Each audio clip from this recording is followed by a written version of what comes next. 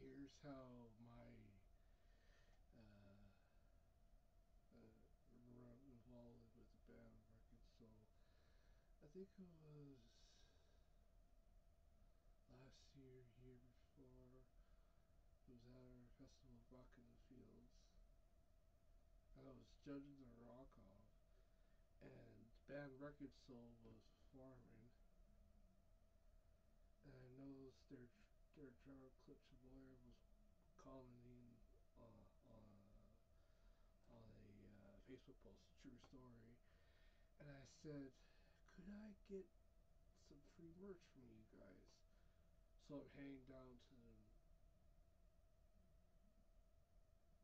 for judging the rock off,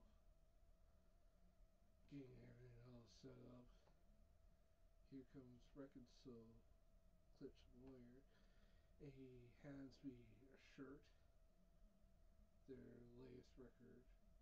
I was like, whoa, that guy came out of the blue. I was just like, I was like shocked because I was judging their work.